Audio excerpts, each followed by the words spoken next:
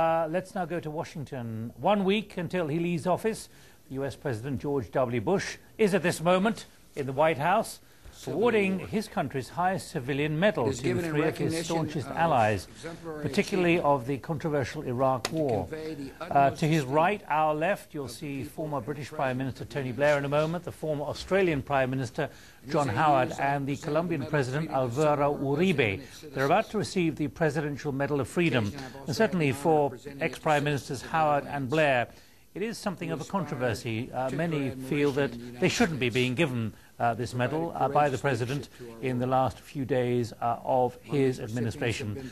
Let's now hear, though, the words of the outgoing President and why uh, his three uh, awardees should be given the Presidential Medal of Freedom. This afternoon, I'm pleased to award the Medal of Freedom to three extraordinary leaders. We honor a sitting president and two former vice, uh, prime ministers. Each one of them a true friend of the United States, who met historic challenges with great tenacity, and who provides a lasting example of statesmanship at home and abroad. The first day I met Tony Blair, almost exactly eight years ago, he was in the second term as Prime Minister, and I was just starting out. After our first meeting, a reporter asked if we had found anything in common, and I jokingly replied, that we both used Colgate toothpaste. the truth is, I did feel a close connection to Tony Blair. As I said after the first meeting, I knew that when either of us gets in a bind, there will be a friend on the other end of the phone. My friend was there indeed after America was attacked on September the 11th, 2001. And it just wasn't on the phone line. When I stood in the House chamber to ask the civilized world to rally to freedom's cause, there in the gallery was the staunch friend, Prime Minister Tony Blair. He was there in a moment of trial to affirm the special relationship between the United States and the United Kingdom.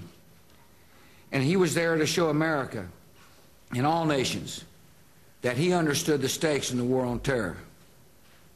As he said, just as the terrorist seeks to divide humanity in hate, so we have to unify it around an idea, and that idea is liberty. Under Tony Blair's leadership, the might and the moral authority of Great Britain have been applied to the war on terror from the, from the first day.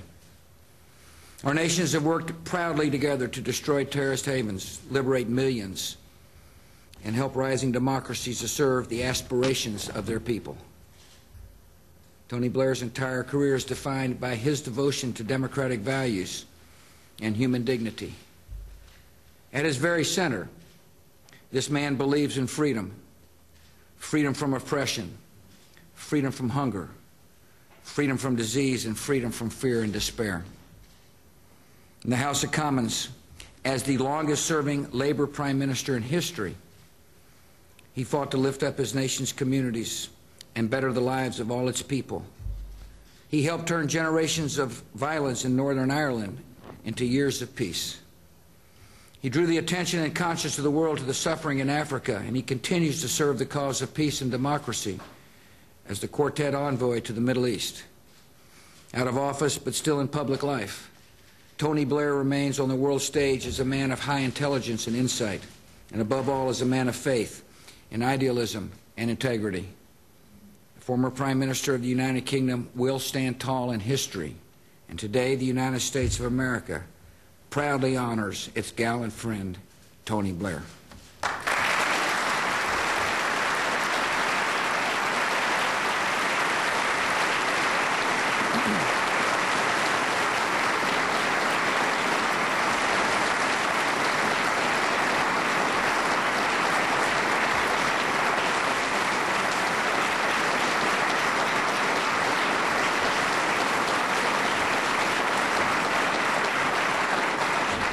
John Howard of Australia has spent a lot of years in politics.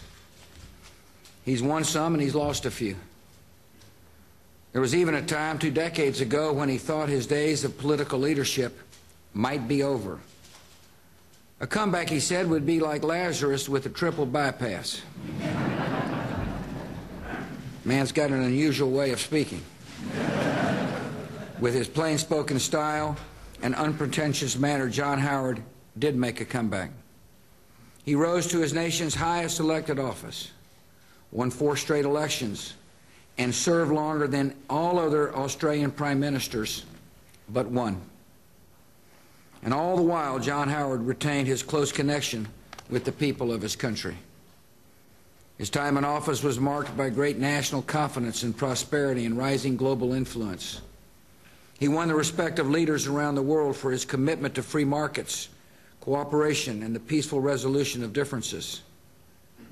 He was a faithful steward of Australia's alliances and a sturdy friend in a time of need.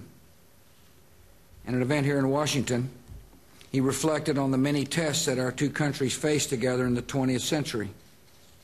He spoke with feeling about our shared values, as well as our obligation to defend them, and if necessary, fight for them, and be ready to repel those who would seek to take our freedoms away.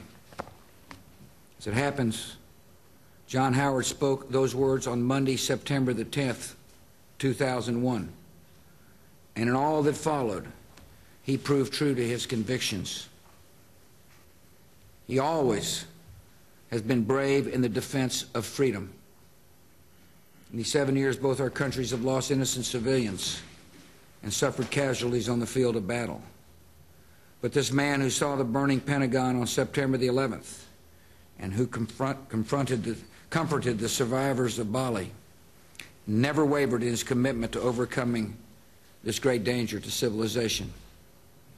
He never wavered in his support for liberty and free institutions and the rule of law as the true and hopeful alternatives to, to ideologies of violence and repression. He's a man of honesty and moral clarity. He can make a decision, he can defend it, and he stands his ground. That's why I called him a man of steel.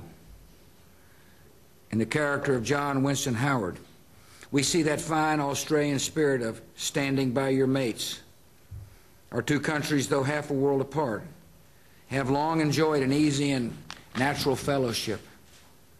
And the 25th Prime Minister of the Commonwealth of Australia stands for all that Americans like and admire most about this wonderful country. So, Mr. Prime Minister, our friend, welcome to the White House and congratulations.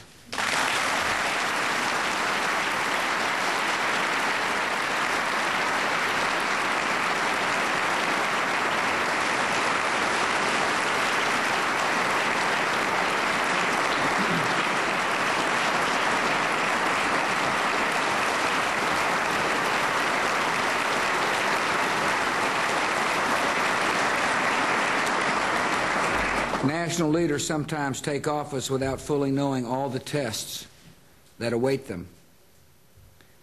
But when Alvaro Uribe became the president of Colombia, the challenges were in full view.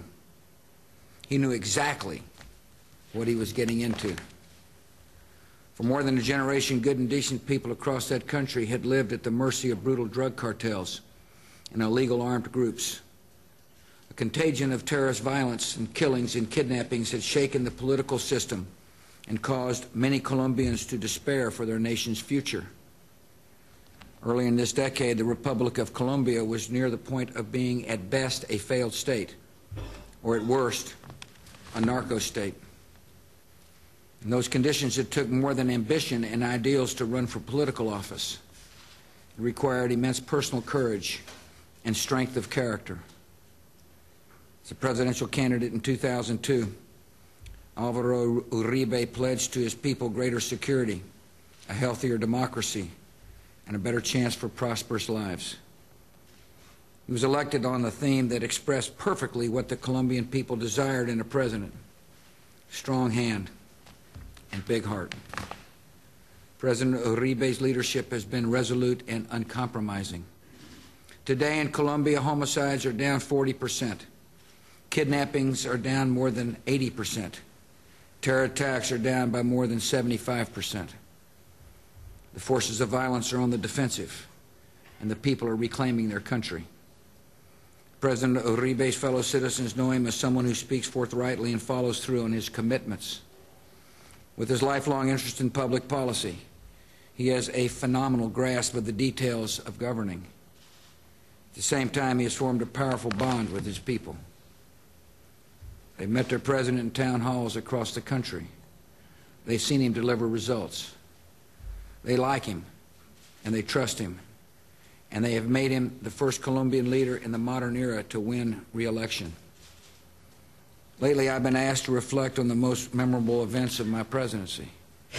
Among those is a phone call I received several months ago from President Uribe. He called to say that a group of hostages, including three Americans, who had been held in captivity for five years, had been rescued and were alive